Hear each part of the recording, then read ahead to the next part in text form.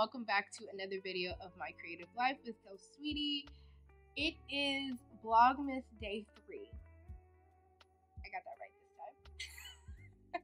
I, today I want to work on um, book reworks. I have a really important opportunity coming up, and I have not done a book cover rework in some time, and I've read some really great books that I feel like need some better covers. The Push. The Push is one of them. I don't think the Push cover was bad, but it's not ominous enough. I feel like, not saying that my covers are ominous. I y'all should know by now I make very colorful work, but I feel like it wasn't it wasn't enough of an Easter egg of where the book was going, and I love an Easter egg in a book cover. So I'm gonna work on my push um, illustration book rework cover rework today that I've been wanting to work on for some time. And I love illustrated horror and illustrated thrillers and sci-fi covers. I feel like a lot of illustrators get a lot of work that is around romance novels and YA novels. And I I would like something that's very like strange and off-putting about a bright illustrated cover for a very creepy, dark book. I I feel like the juxtaposition of it would be so much creepier. Like this thing between us, it's not like a bright color, but it's a very interesting cover. Um, Night Bitch, like that's an actual like picture rather than illustration, but it's bright and it's something very different and like grabbing. I'm tired of like eerie photography that has like a filter over it. Not to down people who make those because to be honest with you, that's a whole skill set I don't have. But I just want to see something different. That is what we will be doing today in today's vlog is I will be spending the next hour or so working on some book rework cover reworks. And I know this the push, I know it's the last house on the street. I it might be dead silence. I'm the last one's kind of a toss up on what it will be. I think that I even at some point when my mind was running one night and I couldn't go to sleep, I feel like I wrote down ideas of what, yes, I did. I did do that. So, okay, here are my book cover ideas from a night when my brain would turn off. The push. I want to do like um a Russian doll type of thing, like a doll inside of a doll, and like these Russian dolls kind of look how I think that the the mother characters look and like they're not smiling and pretty and happy or whatever, but there's like something cracked in them. Because I really the push is about generational trauma, especially as a mother, and the idea that be, that the cycle of becoming a mother when you either don't want to be or aren't ready to be can result in you passing down this like depressive trait and everything to your offspring. Amazing concept. And I thought like this Russian doll of a one inside of another thing would be really interesting and make you think like what does that mean for the grand scope of the book. So that's one. Um, another one was Dark Matter. Okay, I remember this now. I did not like the cover of Dark Matter. I got where it was going in a typography type of way, like, okay, this is foreshadowing for what this book is about. But I wanted something more illustrative. So I want to, it's about clones. It's about other universes, universes, universes and clones, and I think that that's really interesting. So I want to do like sheep clone illustrations, and maybe this inside of a copy and paste computer screen to bring it back to where like the science was coming from and how they were traveling. I love that idea. Past Kelsey, that was a great idea. Um, then there was Little Eyes. Little Eyes I read earlier this year, and it wasn't impressive for me. It was all right. I rated it a three. I think I really liked the idea of it and the idea of the social um, experiment that it was. Essentially, the book is about like these little Furbies that have AI in them, and they're like treated like pets. And there's something they're like um very surveillance, and you can either be the surveillancee or the surveillancer. While the stories in it, I do think were great, it was not as like scary as I kind of was expecting it to be. I wanted something more illustrated, so I wanted to do a like Furby type illustration with the eyes in the lower third of the book, and I feel like that would be like creepier and even more like surveillance. Rouge. I just finished that. That was I know y'all sick of hearing it, but that was a great buddy read. It was a fantastic one. And on the front of it, I realized actually the cover is great because it's foreshadowing for what the ending of the book is, and you don't when you don't know what it is, you're like, oh, that's I guess it's supposed to be a rose and everything. Um, but it's actually like an upside down jellyfish that looks abstract, which is cool. But with the way that it ended and everything, I want mannequins with their makeup done on the front of it. If you know, you know about the mannequins in the book. That's the idea. I've also added last day, last house on list you don't hear now. Which for that one, I want instead on the cover that I have, it has the black cat and the house. It, which makes sense. It's a beautiful picture. I want something a little bit more simplified I just want a deep freezer. So yeah, those are my ideas. We'll see what I get to in the amount of time that we have. Let's get into it.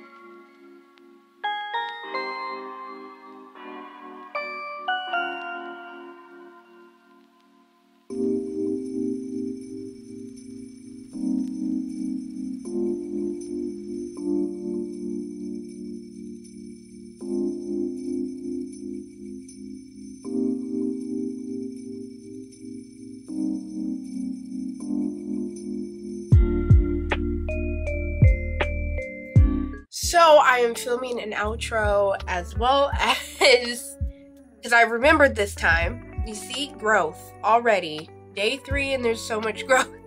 Uh, as well as showing you guys the final result of the cover reworks that I did. I ended up only being able to finish two. Both of these took longer than I expected, but I had a really great time doing them. I'm gonna go through what I might change on one of them or what I would do differently. I may try this again for one of these covers.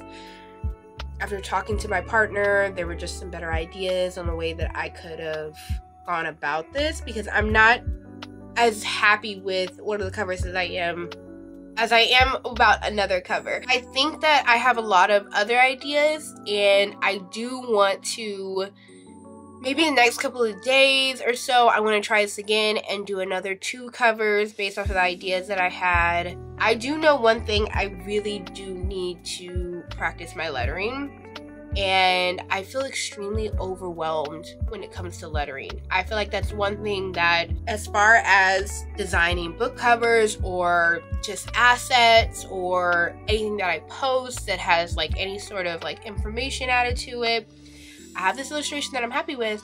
And then I basically just slap some text on it. And more times than not, I'm not really happy with just the text being on there. I think that's one thing going into the new year I really want to practicing it better at, and that's lettering. I really want to get better at it. I just feel like it's one thing that I fall for, like flat on when it comes to illustrating or designing or anything like that. I basically can only use the text that I kind of have and my handwriting. I just feel not great at it. That's a little like creative goal. I think maybe I'll, I, I think that'd be cool for me to maybe create some creative goals for next year as opposed to like your usual New Year's goals. But let's get into the book covers that I created. I'm gonna show the one that I'm not as happy with first because I'm just not as happy with it and I have a lot more to kind of discuss in regards to it. Um, as I talk about it, I'm going to put it here. Future editing me, here. Thank you. One thing that I just wasn't the happiest with the original cover was it's a Rorschach uh, ink blot that like is from psychology and the idea of doubles and I just don't think that it really had any sort of Easter egg to the story. Now there is a very and that's the, the kind that the the cover that I currently have. Now in my research, which wasn't extensive, I found another cover that I loved a whole lot more and I wish I had that book. I think it was the UK edition that had one of those like kind of toy miniature type of um photography that they do where it kind of it looks like little miniatures but it's i don't know if i can explain it correctly but it, it looks like a toy miniature and it's of a playground where a slide is and everything. I love that because it was foreshadowing of one of the first times that she knew that her daughter was kind of like off. And i like this idea of this russian doll of trauma. So russian dolls came to mind and i like the idea. I don't really like how i executed it but it's too cute. And it also it's cute in a way that's not professional. It's just kind of cute in a way that's cute. I think now talking to my partner a better way to do this would have probably have been a pattern which i think i'm going to try again at making this cover i maybe want to do a repeating pattern of these different size russian dolls and do more um, detail and just a better job of illustrating each one um, than kind of how I have it here, where I was kind of keeping it loose. So yeah, that is the first one I made. I, I still think it's a good idea and I like the idea. I just don't feel like I transferred it here to the best of my ability. But we will try again. I think I'm going to try it again in another video when I try to do some more book covers. The second one I did, I'm super excited and happy with how it turned out. So Dark Matter is about essentially different universes and cloning. If you if you're a Marvel fan, Secret Wars. It's Secret Wars. It's exactly what it is, essentially.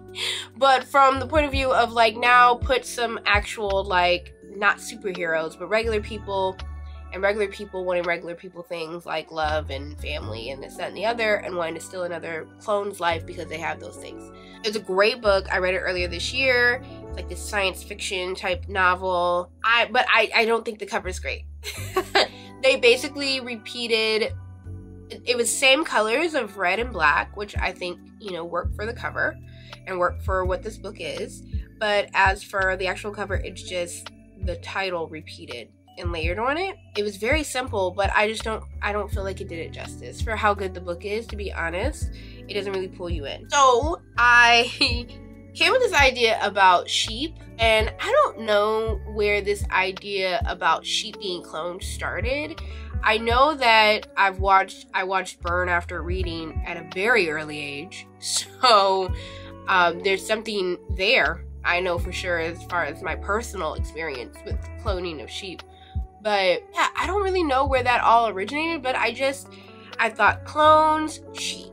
We will make sheep clones. Um and then I thought of a black sheep. Oh, the main character is this black sheep of all these different clones and stuff because his life is different from all of those variations of himself and they all want his life. That's where this idea was born. I really loved how I handled I bought these brushes from True Grit Supply last year during Black Friday and they were their like comic book shaders. I've used it for basically just texture and not actual shading because I was a little bit intimidated by not really knowing what I was doing with them. And I think I accidentally kind of used those shaders in this image. Like, I think I was originally going to use it for a texture type of thing.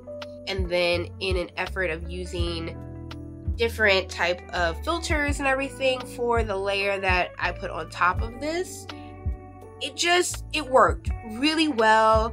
I love how graphic it looks now because the the book itself is very much written like a graphic novelty bro science fiction type of thing and i think that that comic book shading runs that way and everything. So i'm super happy with how this turned out.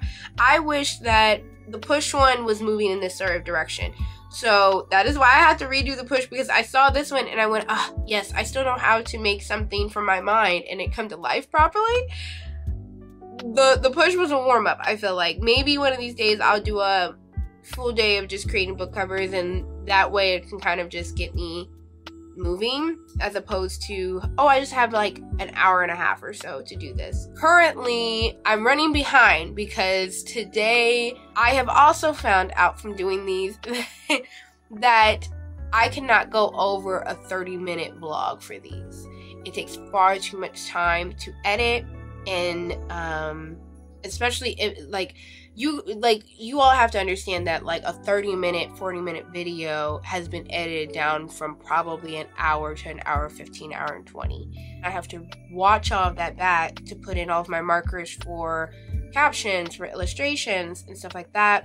Put make those illustrations put them into the video or the vlog along with the sound effects and the music and everything. Now upload it, now download it into my computer to upload onto YouTube. It's a huge process, and today was a learning experience that we cannot do more than 30 minute videos. No, thank you to those who've watched my first, my last, like first vlog. See, and this is also how I can tell, like, this is why people get lost. I can tell now when they're doing this because they're like working four or five vlogs, they're editing one, one's already up, from two days down. They're editing the one from yesterday. They're filming the one from today. They're thinking about planning the one for tomorrow. It's just like, okay, everything's going together. A little mini update on my reading. Second day in a row that the Becky Chambers book a long way to a small angry planet. It's such a long title. Um, has made me smile while i'm listening to it. It is actually very interesting. Or at least the characters are. They're they're interesting to hear like them kind of work through things and talk through things and their personalities are interesting enough and everything for me to keep on listening. Nothing has really happened as of yet. We're nearly 20% in and nothing of like oh my god things are going something's happening um, has happened, which it is a cozy sci fi, so that's to be expected. But somehow I'm still listening. So it's going good, I guess, so far. I'll see y'all in the next one. Um, but you know, subscribe and like if you enjoyed seeing a little bit of a process behind me when I'm designing some book covers and everything. Um, and I hope that it was somewhat interesting. I'll see y'all in the next one. Bye.